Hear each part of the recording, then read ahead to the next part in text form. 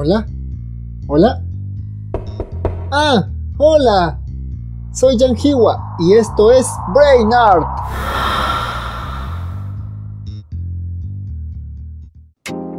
Estaré haciendo una serie de videotutoriales acerca de cómo dibujar la cabeza en distintos ángulos, llevándolo hacia dos enfoques. El primero, dibujarlo desde la imaginación para luego deformarlo y crear un estilo. El segundo, su uso en el dibujo realista o académico. Estas lecciones están dirigidas a las distintas disciplinas del arte, como el cómic, animación, concept art. Este no, este. Diseño de personajes, ilustraciones, dibujos realistas o académicos, etc. Todo nace desde los fundamentos, de las bases, los cimientos. El resto es una ramificación.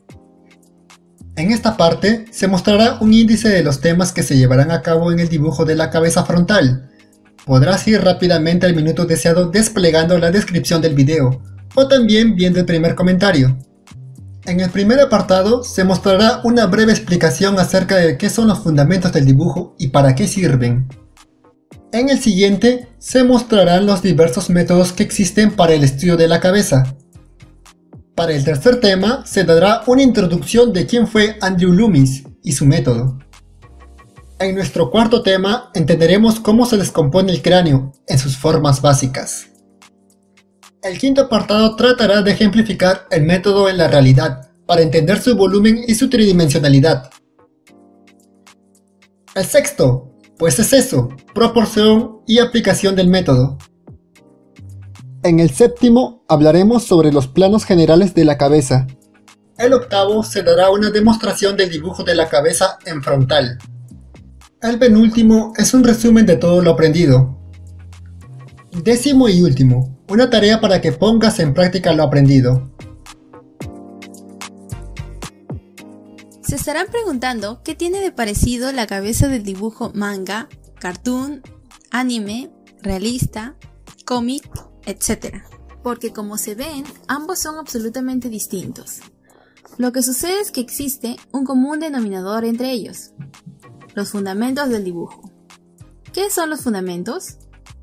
Los fundamentos del dibujo es la base de todo arte, es la médula espinal que sostiene y da vida a cada ilustración desde la más simple a la más compleja que exista, de la misma manera a los dibujos académicos. Hoy nos centraremos en estudiar los fundamentos de la cabeza. Existen muchos métodos para dibujar la cabeza. Depende de ti cuál elegir. Algunos tienen más ventajas que otros y viceversa. Por ejemplo, tenemos el método de abstracción de Frank Rayleigh, que nos presenta los volúmenes del rostro y nos ayuda con las expresiones. El método de Burns Hogarth, George Pritzman, Jack Ham, Andrew Loomis, etc. Existen decenas, no es necesario aprender todos, pero puedes analizar sus ventajas y desventajas para elegir uno. En el caso de la cabeza estudiaremos el método de Loomis, que es a mi parecer un método muy fácil de comprender y memorizar. Loomis fue un americano, ilustrador, autor y profesor de arte, quien escribió el libro Cabeza y Manos, del cual está basado esta primera parte. Forma básica del cráneo. El método de Loomis nos indica que el cráneo está conformado por dos grandes masas geométricas, la esfera del cráneo y la forma cúbica de la mandíbula. Al encajarlo nos forma la cabeza. Si observamos el cráneo podemos ver una gran semejanza con la de una esfera que es achatada por los lados. Para alcanzar un mayor parecido, cortamos nuestra esfera por los laterales.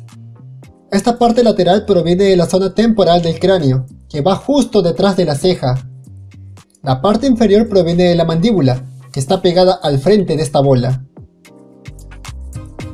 Ejemplificación del método de Loomis. Si llevamos a la realidad el método de Loomis agregando un poco de imaginación, podemos lograr transformar esta esfera en un cráneo. ¿Cómo? Pues fácil, solo saquemos a cada lado una tajada delgada y habremos obtenido una forma básica semejante al cráneo. Recuerden que el cráneo es una bola achatada por los laterales, no una esfera perfecta. A esta esfera se le empala un eje. Este eje me dará la inclinación de la cabeza.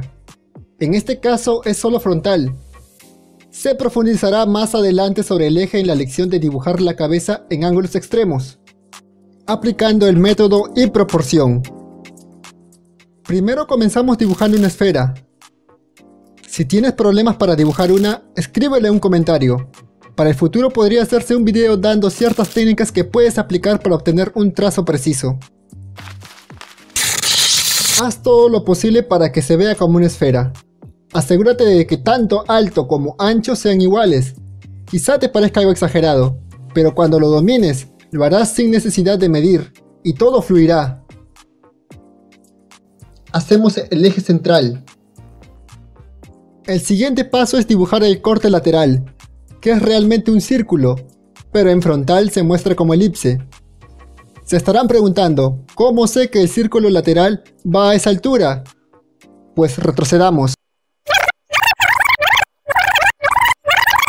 La proporción de este con respecto a la esfera es de 4 sextos.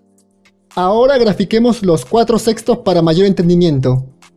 Dividimos 6 desde los polos de la esfera y pintamos 4, lo cual nos dará la altura de la elipse.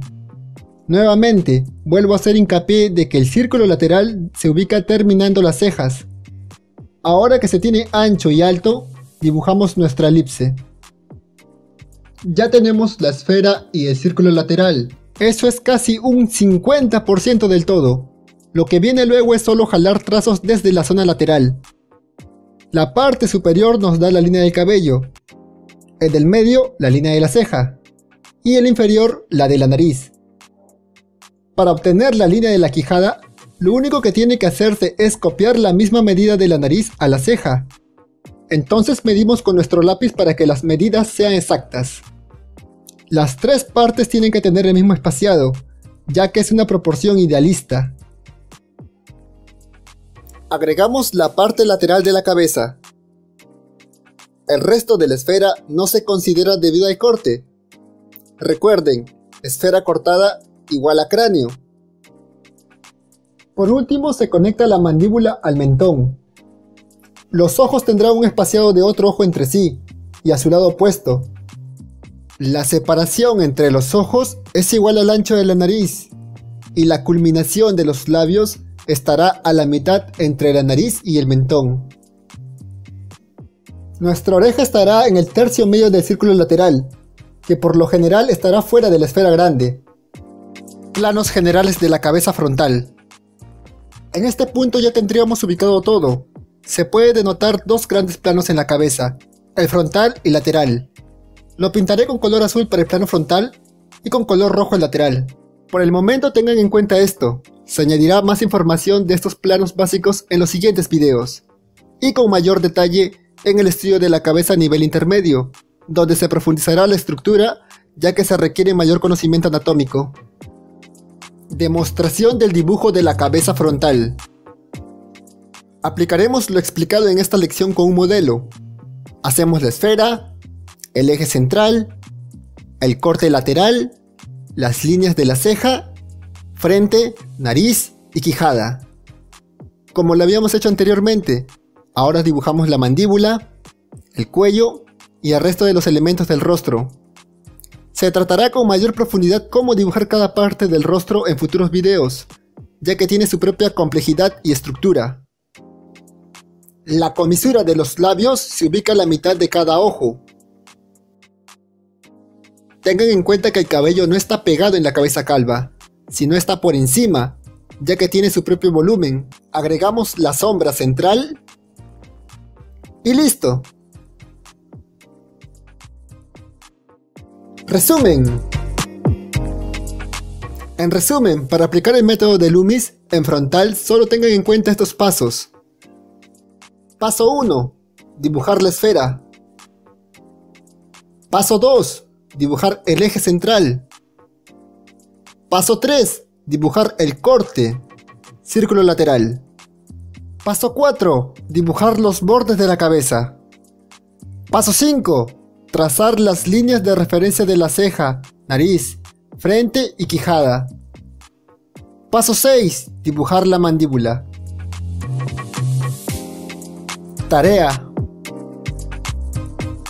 Ahora aplicarán todo lo aprendido. En la descripción del video encontrarán un link de descarga. Habrá múltiples fotos de modelos extraídos de la página de Croquis Café. Dibujarán solo la cabeza aplicando el método de Loomis. Respeten las proporciones ideales que Loomis nos brinda y por el momento no lo varíen. Cuando se sientan lo suficientemente cómodos como para captar ciertas características de proporción en cada modelo, háganlo. Publiquen sus tareas en el grupo de Facebook para obtener críticas constructivas. Eso es todo por ahora. Compartiendo el video ayudarán a que el canal crezca. Y no se olviden de suscribirse y seguirnos en nuestras redes sociales para que estén al tanto de las siguientes lecciones.